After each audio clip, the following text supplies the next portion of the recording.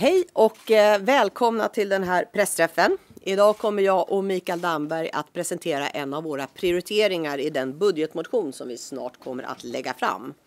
Men först tänkte jag bara kommentera något om Johan Perssons uttalande om SD och eh, Liberalernas ursäkt efteråt. Jag tror att eh, många med mig funderar vad Johan Persson egentligen tycker i den här frågan och jag tror att ett klargörande från hans sida skulle vara på sin plats. Och sen tycker jag också att det kan vara värt en stilla påminnelse om att det är ju så att Johan Persson har valt själv att eh, samarbeta med Sverigedemokraterna och att det finns ju alltid andra alternativ. Min dörr står öppen. Johan Persson har ju också ett ganska märkligt sätt att argumentera när han ska försvara eh, sitt samarbete med Sverigedemokraterna. Han, han hävdar ju på något sätt att det är tack vare att han är med i regeringen som vi inte ser saker som nedskärningar i public service eller återvandringsmål. Men sanningen är ju att det är just för att Johan Persson har valt att ge Sverigedemokraterna makten som sådana här förslag behöver stoppas. Det är ju för att Johan Persson har valt att ge Sverigedemokraterna makten som vi ser förslag om att unga tjejer som tvingas till prostitution, alltså är brottsoffer, ska utvisas som om de vore gängkriminella. Det är för att Johan Persson har valt att ge Sverigedemokraterna makten som läkare nu oroar sig för att de ska operera patienter som de inte kan kommunicera med för att patienten inte kan tillräckligt bra svenska. Eh, det är ju han som har försatt sig själv och Sverige i den här situationen. Och det finns ju ingen naturlag som kräver att ett liberalt parti måste ge makten till Sverigedemokraterna. Det är ett val. Och återigen, det finns andra val, andra, andra alternativ och min dörr står öppen. Nu till ämnet för dagen. Hela Europa befinner sig i ett väldigt tufft ekonomiskt läge och så även Sverige där både företag, hushåll och våra välfärdsverksamheter påverkas av höga priser på mat, bränsle och el. Och det finns ju en tilltagande oro för hur vi ska få ekonomin att gå ihop i vinter. Både en fråga om det mer vardagliga som kläder till baren eller att maten ska finnas hela månaden på bordet. Men nu också i tilltagande utsträckning hur det ska bli med julen. Kommer man ha råd med julfirande och julklappar? Inte minst när elpriserna nu skenar. Och den här oron eh, späds ju dessvärre på av flera av de löftesbrott som Sverigedemokraternas nya regering tyvärr har gjort till sitt kännetecken. Högern gick ju till val på ett högkostnadsskydd som skulle vara på plats den, senast den 1 november. Något som ju har visat sig vara tomma ord, både vad gäller tidpunkten för införandet men också utformningen av stödet. Sverigedemokraterna lovade att bensinpriset skulle sänkas med 6,50 kronor man lovade att detta skulle ske omedelbart. Det visar ju sen bli 14 öre vid pump. Istället så har Åkesson och Kristersson eh, valt att genomföra en omfattande skattesänkningar för höginkomsttagarna. 10 000 kronor till den rikaste delen av befolkningen till en kostnad av 10 miljarder. Regeringen pratar ju om hur viktigt det är att prioritera i tuffa tider med inflation och konjunkturnedgång samtidigt det är helt och rätt och riktigt att man behöver prioritera då. Så problemet är ju hur regeringen väljer att prioritera. Och här menar vi socialdemokrater att regeringen borde ha orkat prioritera välfärden före höginkomsttagarna. För precis som kostnadsökningarna slår mot hushållen har förutsättningarna för kommuner och regioner kraftigt försämrats. När priser på mat, drivmedel och el stiger för hushållen ja, då gör de ju också det för förskolorna, skolorna, sjukvården och äldreomsorgen. Och de tillskott som regeringen har kommit med i budgeten, de är välkomna, men eh, de är långt ifrån tillräckliga. Så nu står kommunpolitiker runt om i landet inför väldigt svåra beslut. Ska man säga upp förskollärare, elevassistenter och undersköterskor? med större barngrupper, mer stök i klassrummen och ännu mer press på personalen i sjukvården och äldreomsorgen som följd? Ska man dra ner på socialtjänstens arbete med ungdomar på glid? Eller ska man höja kommunalskatten samtidigt som hushållen kämpar med att få ekonomin att gå ihop? Vi socialdemokrater tycker att svensk skola, sjukvård och omsorg ska stärkas inte krympas. Och vi tycker att alla som sliter i de här verksamheterna ska få bättre arbetsvillkor, inte sämre. Och därför kommer vi föreslå en kraftfull förstärkning om sammantaget en fördubbling, sammantaget 12 miljon, miljarder under nästa år för, i generella statsbidrag för att underlätta för Sveriges undersköterskor, socialsekreterare, lärare och personal i äldreomsorgen. Och för alla som använder och brukar de här eh, verksamheterna. Det skulle i praktiken motsvara 75 lärare i Östersund, 96 barnskötare i Borlänge eller 12 000 lärare i hela landet. Därutöver så ökar vi likvärdsbidraget i skolan med en miljard för 2023 jämfört med regeringens budget. Det skulle innebära 16 nya skolsocionomer i Botkyrka eller 2 000 nya elevassistenter i hela landet skulle kunna anställas. Jag lämnar över till Mikael Damberg. Tack. Ja, det är precis som Magdalena Andersson säger att vi befinner oss i ett väldigt utmanande ekonomiskt läge. Sverige är på väg in i en lågkonjunktur. Det kommer att slå mot vanligt folk. Det märks redan när elräkningen är hög, när inflationen driver upp priserna i matbutiken och bensinmacken eh, eller när vi, när vi liksom hanterar våra liv rent generellt med den höga inflationen. Arbetslösheten kommer att stiga eh, och det här innebär att många människor har det tufft eh, i vinter.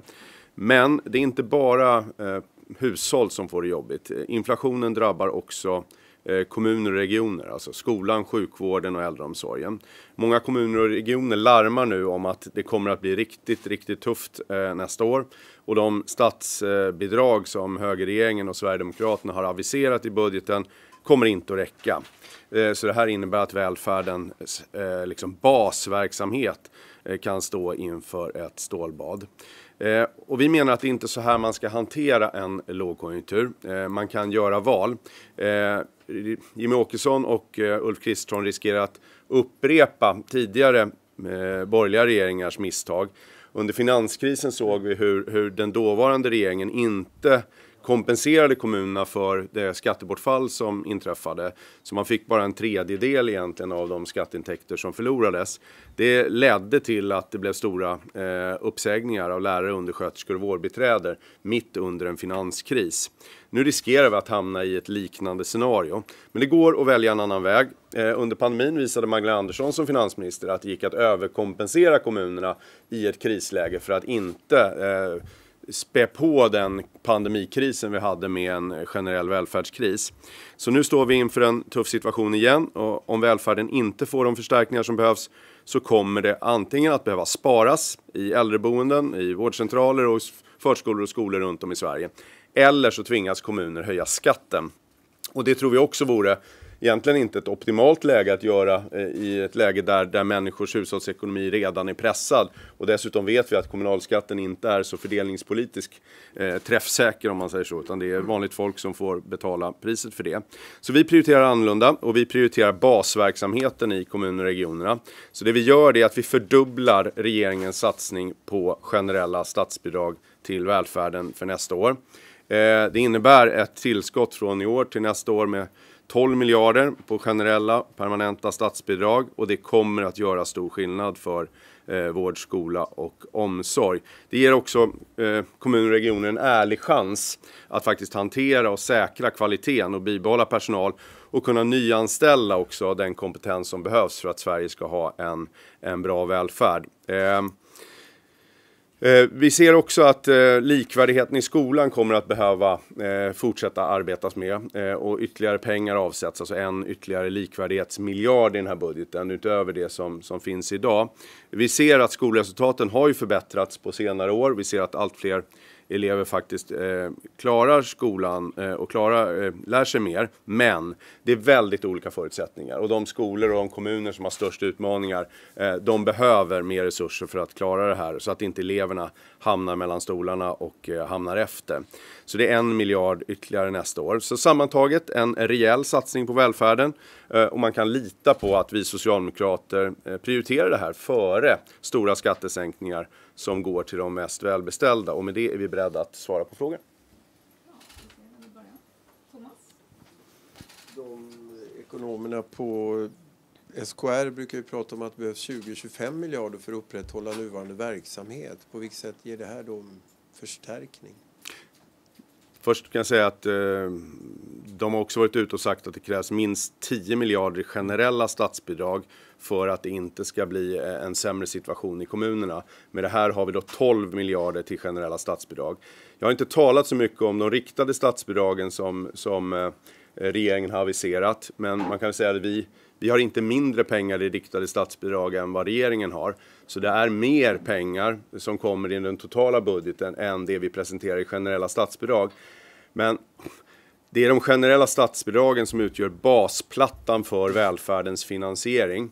Eh, och om inte den finns på plats, då leder det till besparingar. Och en del av dem, det kan vi återkomma till när vi har släppt hela budgeten, men en del av av regeringens idéer om att på tillfälliga statsbidrag på små områden ska leda till stora förbättringar av välfärden, det är de facto inte eh, sanningen. Så det blir mer pengar till välfärden generellt sett, eh, inte bara den generella välfärden utan också riktade statsbidrag och vi kommer lägga mer än regeringen även på det området. Eh, men idag är, är, det fokus på välfärdens basfinansiering. Det står här att eh, med det här skulle man då kunna anställa och så ger ni lite siffror 14 600 förskollärare eller 16 000 undersköterskor. Eh, om det nu inte är någon ökning egentligen eller inte särskilt stor ökning, hur ska man då kunna anställa så mycket folk? Nej men det motsvarar ju kostnaden för så mycket människor. Det motsvarar, så, det motsvarar kostnaden för så mycket människor. Egentligen står det lite fel här. Kanske det gör, jag har inte läst det där pappret. Ja. Men jag tror inte vi sa så. Eh, vi sa att det motsvarar kostnaden ja. för, för detta. Eh, och, och det, det, är helt rätt. Eh, men vi vet ju att kommunsektorn står inför stora rekryteringsbehov. Om man inte rekryterar mer personal och också behåller den personal som finns i till exempel äldreomsorgen och sjukvården då kommer man inte beta av några köer och då kommer kvaliteten att försämras. Så att det handlar om personal när vi talar om kvalitet i välfärden. Jo, jag menar, utan de här pengarna så kan det ju bli antingen uppsägningar eller att man inte återanställer när personer går i pension eller slutar. Med de här pengarna så finns det ju helt andra möjligheter att återanställa till exempel om någon slutar eller slippa säga upp personal. Eh, är det här den största satsningen i er budget? Det här är den största enskilda satsningen i budgeten, eh, men det kommer flera satsningar eh, och det kommer mer också på välfärdens område. Det kommer fler stora satsningar. Mm. När ni eh, ser kommuner och regioner, vart ser ni liksom de största behoven? Det, alltså det är behov rakt av i, alltså den jo, kostnads... Men av kommunerna och regionerna måste behöva mest. Nej, men om du, tar, om du tar först dem så är det regionerna som har larmat hårdast för mm. att de står inför svårast ekonomiska utmaningar nästa år. Så det är sjukvården som just nu på kort, på kort sikt nästa år. Men tittar vi mer långsiktigt så är ju inte minst äldreomsorgen en, en enorm verksamhet som, som eh, det diskuteras mycket under pandemin. Och där det inte bara, det handlar om pengar som vi levererar men det handlar också om hur man styr äldreomsorgen och hur man arbetar med personalförsörjning. Och här har ju regeringen sagt att de ska avskaffa äldreomsorgslyftet det är modigt gjort, eh, skulle jag säga, om man ska klara kompetensförsörjningen i äldreomsorgen de kommande åren. Eller korkat. Ja. Men det är klart, jag menar alla verksamheter, alla kommunala verksamheter. Jag menar precis som, som vi märker att det är dyrare med ett paket Bregott än tidigare. Det är likadant för alltså skol, mat, skolan eller Eh, kostnaderna för matbespisningen ökar ju i skolan. Det blir dyrare med maten i förskolan. Eh, det blir dyrare för hemtjänsten när man ska eh, åka till och från de äldre. Alltså all den inflation som vi märker av i vardagsekonomin, den, den märks ju också i de här verksamheterna. Men med tanke på de stora finansiella behov som verkar finnas, är det inte så att det kanske behövs en mer helrenovering? Kristdemokraterna har antytt det och har ju sin patentlösning på det hela. Men Går det här enbart att lösa med mer pengar? Alltså, så här, det, det låter ju en stor... Dels handlar det om pengar nu. Nu handlar det om att kommuner inte ska behöva liksom skära ner i sina verksamheter. Så att pengar behövs ju absolut. Därutöver så finns ju ett stort eh, rekryteringsbehov framöver, inte minst i äldreomsorgen. Och då räcker det ju inte med pengar. Då handlar det både om att det finns utbildningsmöjligheter som äldreomsorgslyftet till exempel. Men också att det är sådana arbetsvillkor i de här verksamheterna så att personalen vill stanna, vill arbeta som sjuksköterska, undersköterska och där är ju också pengar viktiga, resurser är viktiga för att man ska kunna ha sådana arbetsvillkor att personalen vill stanna. Och det tredje benet är väl det som den högerkonservativa regeringen inte verkar vilja ta tag i. Det är ju den demokratiska kontrollen över mm. välfärden. Mm. Det läcker ju ganska mycket resurser, inte minst på skolans område kring kring vinstutdelningar men också i, i styrning av inte minst vården har vi sett mm. i Stockholmsregionen där, där pengarna inte räcker till därför att eh, pengarna inte används optimalt.